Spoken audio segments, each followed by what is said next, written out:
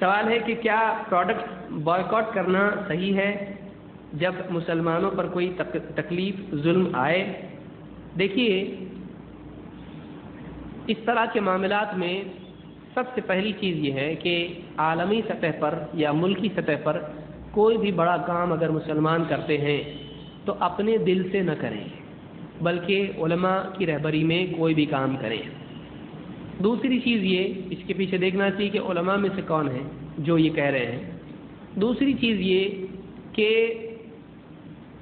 शेख साल फौजान से सवाल पूछा गया कि प्रोडक्ट्स वगैरह जो होते हैं मुल्कों के आ, कभी इसराइल है कभी अमेरिका है कभी कोई और मुल्क है तो इसके प्रोडक्ट्स बॉयकॉट करना कैसा है?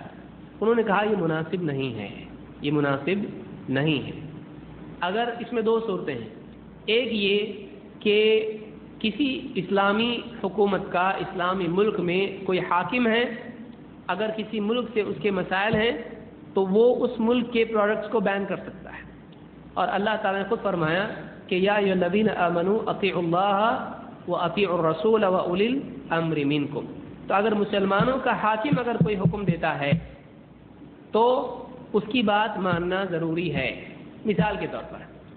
कोई आदमी कहेगा, अल्लाह के नबी सल्लल्लाहु अलैहि वसल्लम के ज़माने में पेड़ काटते थे और लकड़ियाँ लेके हदीस में भी आया है कि उसको ले जाकर बेच सकते हैं। तो ये न फ़र्ज़ है, न हराम, जायज़ है। कोई आदमी लकड़ियाँ काट के, गट्ठर बाँध के ले जाके बेचे बाज़ार में, कोई मसला नहीं। लेकिन अगर किसी इस्लामी हुकूमत में मुसलमानों का हाकिम कहता है, पेड़ काटने से लोगों को नुकसान हो रहा है, इसलिए कि पोल्यूशन बढ़ रहा है लिहाजा अब यह कानून जारी किया जाता है कि कोई मुसलमान पेड़ नहीं काटेगा। अब कोई आदमी ये नहीं कह सकता है, पेड़ काटना कैसे क्या हराम हो गया? तो अब उसको मानना पड़ेगा। उस हाकिम की बात उसको माननी पड़ेगी, क्योंकि अल्लाह ने फरमाया, अल्लाह की मानो, रसूल की मानो और उलुल अम्र की। तो कोई ऐसी चीज़ जो किसी मसलहत की वजह से वो मना कर दे, जैसे हज वगैरह में होता है तो वो लोग कहते हैं कि इतने, एक बार हज जिसने किया है, अगली मरतबा वो नहीं आएगा, इतने साल के बाद आएगा। अभी चोरी छुपे न जाए, क्योंकि हाकिम का वहाँ पर से हुक्म है, ऐसा नहीं करना चाहिए। उम्र वगैरह के लिए लोग जाते हैं तो इसमें किसी को भी किसी की बहन बना के जाते हैं, मुनासिब नहीं है। ये झूठ बोल के अल्लाह की अल्लाह की इबादत कर रहे हैं हम लोग, मुनासिब नहीं है। तो एक हाकिम अगर मुसलमानों पर कोई कानून नाफिज करता है तो उसकी बात मानना चाहिए। मसलन ट्रैफ़िक है, अगर ये कानून बनता है कि आपको राइट हैंड से जाना पड़ेगा राइट तरफ़ से जाना पड़ेगा लेफ़्ट से नहीं, या उल्टा लेफ़्ट से जाना पड़ेगा राइट से आना पड़ेगा। अब ये कहेगा इस्लाम में है क्या ऐसा? ये बिदत है। ऐसी कॉम जब करना होता है तो ऐसी बहुत बिदत सुनते आती है और फातिहा दे रहा हूँ उसके बारे में कभी नहीं सोचेगा। बाप ने बोला, वो बराबर मान रहा है, लेकिन हाकिम बोला, नहीं मानेगा। अगर हाकिम मुसलमानों का इस तरह का कोई हुक्म देता है, जिसमें मुसलमानों की मसलहत है ट्रैफ़िक सिग्नल है, बोले, कुरान हदीस में ट्रैफ़िक सिग्नल का है? उस जमाने में था क्या कोई सिग्नल घोड़ा ले जाके रोक रहे हैं, फिर घोड़ा लेके जा रहे हैं। ऊँट भी देख के रहा ठहरो जरा साहब उस जमाने में नहीं था।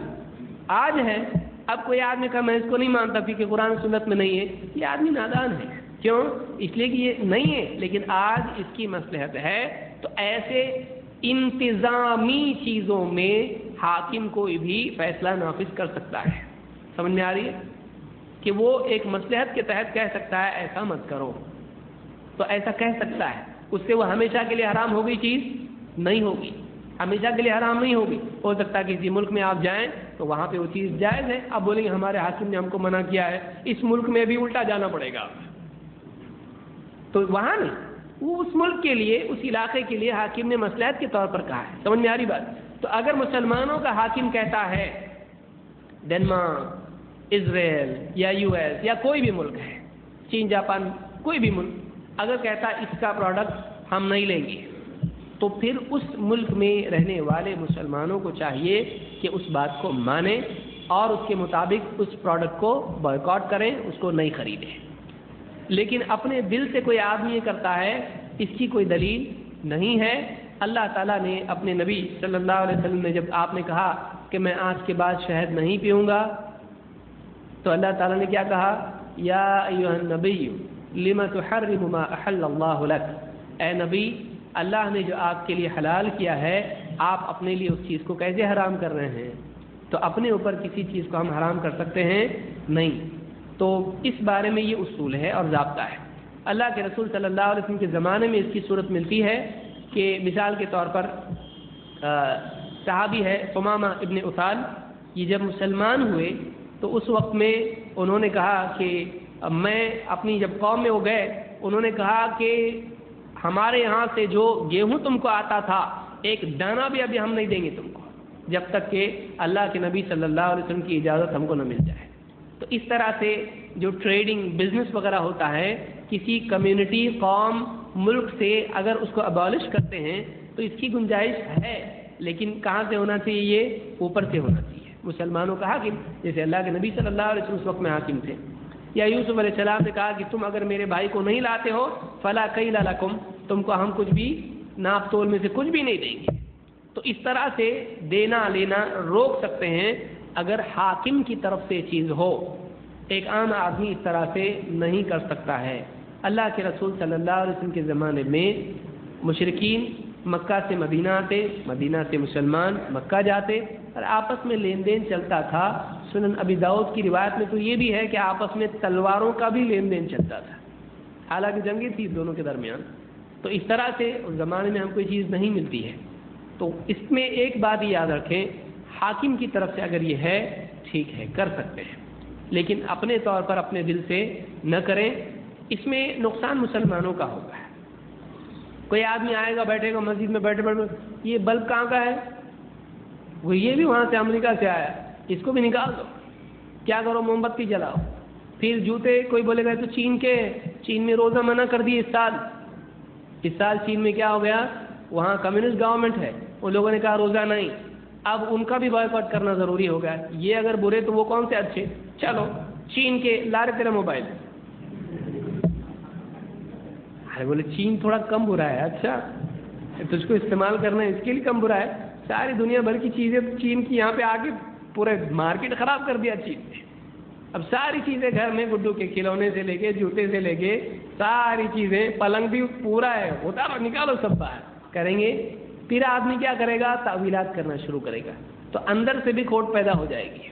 और इसमें होगा ये कि बाइक और ये और वो सारी चीज़ें हमको छोड़ना पड़ेगी। पहले तो वो कंप्यूटर निकालो जिसपे आप पढ़ रहे हैं, ये कि बॉयकॉट करना चाहिए कि नहीं करना चाहिए।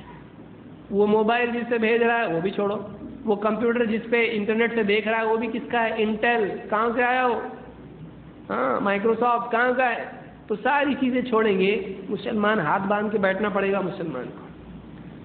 तो इस तरह की चीज़ें जितनी भी हैं, इसमें अगर मुसलमानों का हाकिम कहता है, इसमें गुंजाइश है। ये नहीं कि ये गलत है। अगर इस तरह की कोई मसलियत है, किया जा सकता है।